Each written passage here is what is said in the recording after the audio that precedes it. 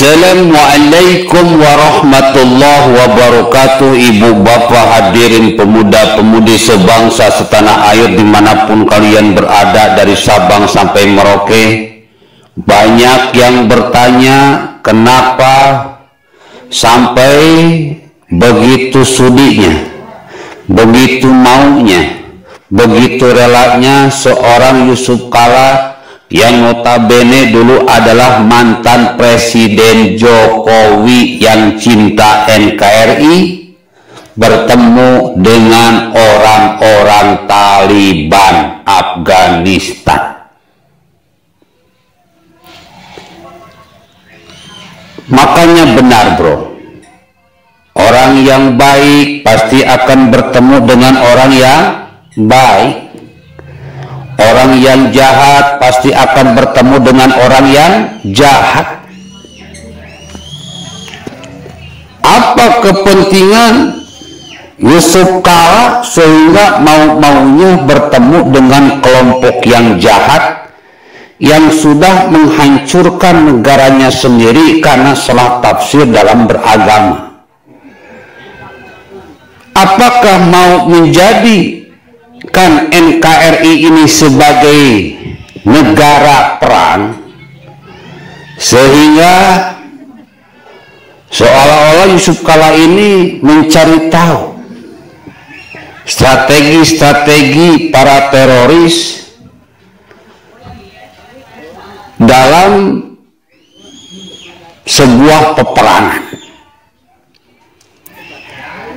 ini tidak boleh dianggap enteng, ini tidak boleh dianggap remeh, ini tidak boleh dianggap sesuatu yang normal-normal saja.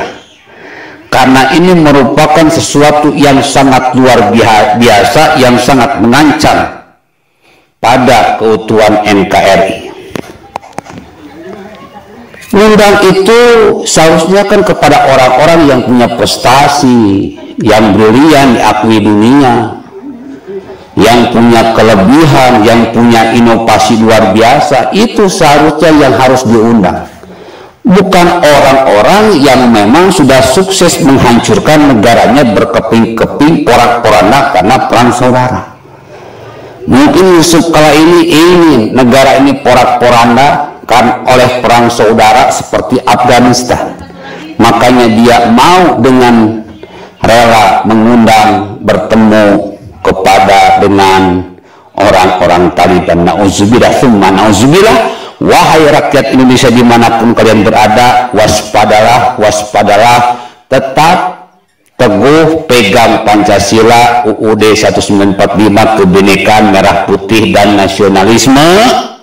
Karena sesungguhnya kedaulatan itu ada di tangan rakyat Indonesia bukan di tangan ulama, kiai, ajengan habaib yang sudah terpapar radikalisme. Bukan di tokoh-tokoh seperti Yusuf Kala yang sudah terpapar terorisme tapi di tangan-tangan kita para pejuang NKRI rakyat Indonesia yang memang berdaulat. Oke? Terus dukung pemerintah terus dukung TNI Polri jangan sungkan. Jihad yang sudah kalian keluarkan entah itu harta, waktu, tenaga, pikiran, kuota, insya Allah akan dibalaskan oleh Allah Subhanahu wa taala dengan berlipat ganda. Faman ya'mal mithqala dzarratin khairan yarah wa man ya'mal mithqala dzarratin syarran yarah. Orang yang baik pasti akan dibalaskan dengan kebaikan, orang yang jahat pasti diajar pedih oleh Allah Subhanahu wa taala di dunia maupun di akhirat. Kalau kitanya baik, insya Allah anak-anak kita akan baik. Kalau kitanya baik, insya Allah negara kita akan baik. Maka dukunglah orang yang baik, wahai orang-orang baik. Billahi taufiq wal hidayah. Wassalamualaikum warahmatullahi wabarakatuh.